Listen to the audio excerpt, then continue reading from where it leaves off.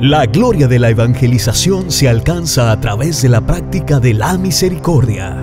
Celebremos juntos la fiesta de la Divina Misericordia. Domingo 11 de abril, a partir de las 9 de la mañana, Dios se manifestará por medio de la oración y la colaboración al gran proyecto Fundación Refugio del Amor de la Misericordia Divina.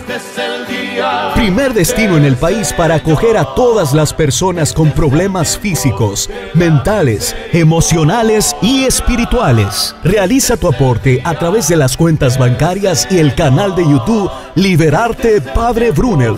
Tu aporte se convertirá en un abrazo de misericordia para la restauración integral de muchos. de la misericordia.